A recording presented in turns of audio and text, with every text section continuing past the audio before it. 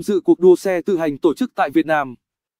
Bước vào chung kết cuộc đua số mùa 3, các đội thi sẽ phải sáng tạo và ứng dụng các công nghệ xử lý ảnh, trí tuệ nhân tạo, AI, để lập trình cho xe tự định vị tìm đường đi ngắn nhất, di chuyển trên cung đường bất kỳ và vượt qua các chướng ngại vật với tốc độ cao nhất trong điều kiện ánh sáng thay đổi.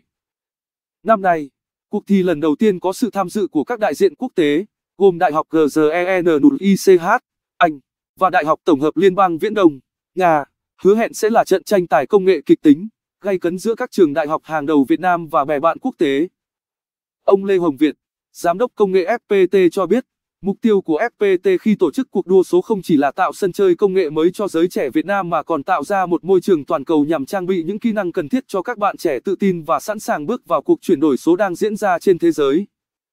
Các thí sinh tham gia cuộc thi ngoài việc cọ sát với các đội thi đến từ nhiều nước trên thế giới mà còn có cơ hội được trải nghiệm, tìm hiểu về công nghệ mới tại các quốc gia tiên tiến như Mỹ, Nhật. Đó cũng chính là tham vọng của FPT, mang trí tuệ Việt ra biển lớn, ghi dấu ấn Việt Nam trên bản đồ công nghệ thế giới.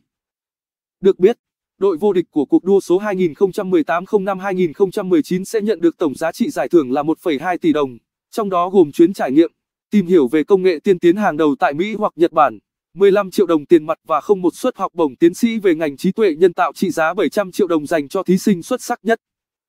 Chính bởi sự hấp dẫn và giá trị giải thưởng rất ý nghĩa của cuộc thi, nên ngay cả các đội thi quốc tế lần đầu tham dự cũng rất háo hức và nỗ lực giành chiến thắng. Ưu điểm của các đội quốc tế là được tiếp cận với công nghệ và kiến thức nhiều hơn. Tuy nhiên, các đội sinh viên Việt Nam lại có lợi thế về kinh nghiệm từ hai cuộc đua trước.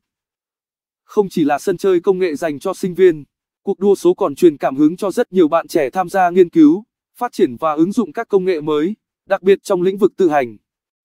Nguyễn Nguyễn